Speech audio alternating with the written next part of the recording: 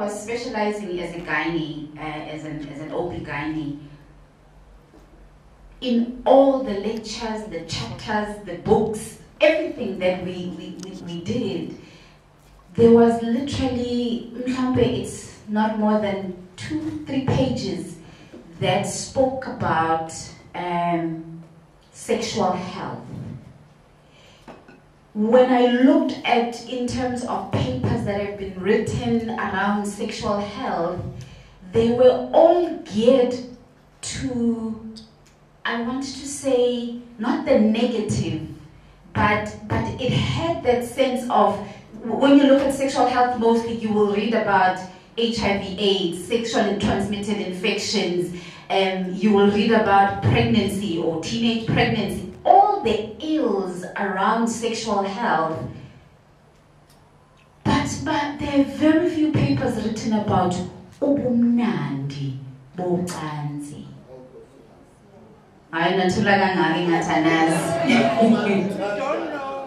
writing about sex whether we are talking to our children, whether we are talking as peers, whether we are talking in the academic space, whether we are talking in our cultural context, it doesn't have to be inappropriate, it doesn't have to be degrading, it doesn't even have to mean that is the position you are taking. There is a privacy about our sexual lives that you can keep for yourself, but to engage in the topic, we cannot run away from that anymore.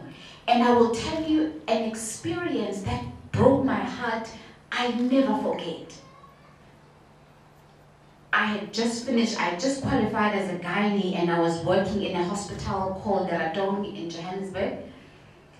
Um, I came in in the morning, I was the consultant that was taking in theater that day. I walked in, now in, in, in gynae, you don't see children, you don't see pediatric patients, right? You, generally will see older, uh, um, you know, women in their reproductive age. At best, you will see teenagers maybe. I had a four-year-old in my theater case as my first patient that day. I walked in, one of the junior doctors explained to me and they relayed the story. This is a four-year-old. She was brought in the previous day. She was actually in the pediatric unit but has been booked for theater so that you can check. She was abused by an unknown somebody who raped her um, and there were so many uh, tears. She needs to be repaired in theater. Four-year-old. Four-year-old. And generally in theater you'll find the ngabalalisi udokotela olalisayo kunamanesi esisebenza nawo sometimes you have one or two juniors that you are with. And, and the anesthetist bayathanda ukuthi masise-theatre because it's usually you spend the whole day there they will bring uh, music. Kube mnandi kube nje it's a it's a party nyana for the whole day. It keeps us you know we are working but kumnandi. That day it was quiet, dead silent. I, I sutured oh, Omamtunga Lomdwana with my tears running. And I said, it should never be so. It, it should never be so. So why am I going on and on about this? I want to start with when we don't talk about sex and sexuality, First of all, we suppress the ability for our children to grow up with the language, to grow up with the confidence, and to grow up with the safe space of being able to come to someone when something is not okay.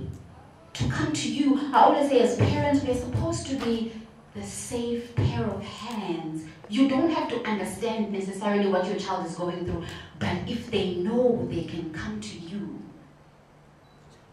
I won't say who it is. I had a chat with a young, a young man in, in this conference, and they said, Yo, I'll never talk to my parents about this. I'll never talk to my. So, what happens when they are being peer pressured to do things they are uncomfortable with and they can't run to you?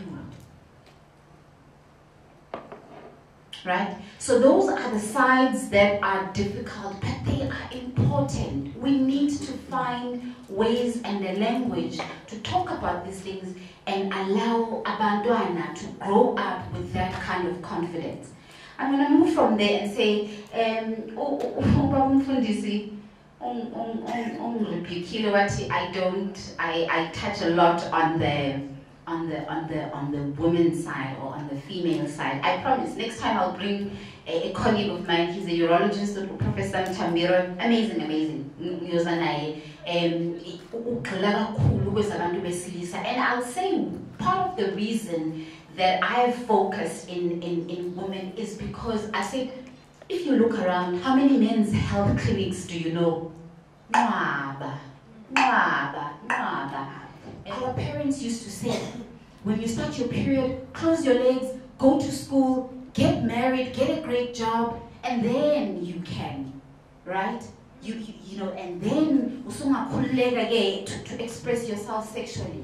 And, and, and quite a lot of a lot of people from that generation, we did that. You know, we, we, we did that. It, it was it was seen as a pride thing to keep yourself until you were in a comfortable relationship to be able to express yourself.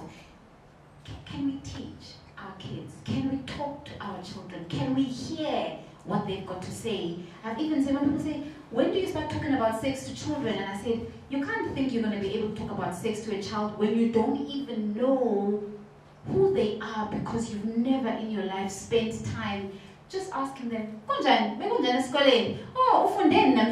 What do you like? What do you enjoy? Oh, today, on the gymnastics. Oh, okay, let's try this one. Let's try that.